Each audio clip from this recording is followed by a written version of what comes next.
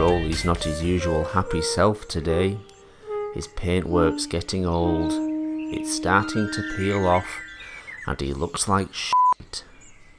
But wait, here's his friend Barry the painter. Barry the painter, I'm not a good. Don't worry, Roly. We'll have this sorted in no time.